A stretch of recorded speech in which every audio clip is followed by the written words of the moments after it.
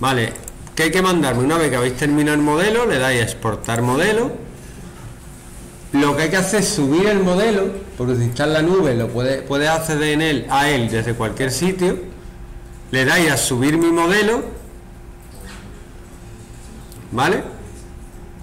Y cuando termine de subir, os va a dar una URL del modelo. La URL es esta dirección. ¿Vale? Esta dirección nos va a servir el próximo día para, para meterla en App Inventor y que el móvil use el modelo. ¿Ok? ¿Y te enviamos esta dirección? Copiar, sí, esto es lo que me tenéis que mandar. También se puede descargar. Subí, subí, subí. Es que es mejor que esté en la nube, así no guardáis nada. Exportar modelo. Como yo vaya y salga, ya verás tú. Y luego tenéis aquí también que tenéis que hacer las dos cosas.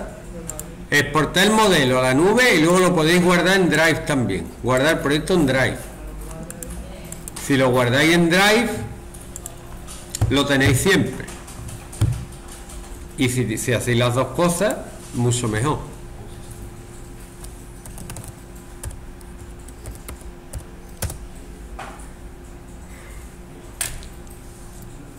¿Ves? Ahí te pone proyecto, pues planeta, por ejemplo.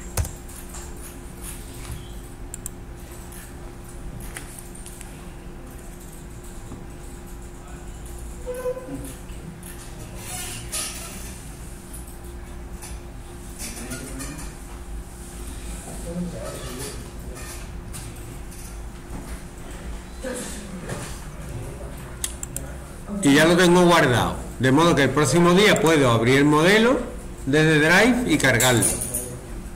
Pero me tenéis que mandar la- las dos cosas, la dirección y el modelo, si no, no, no vamos a ningún lado.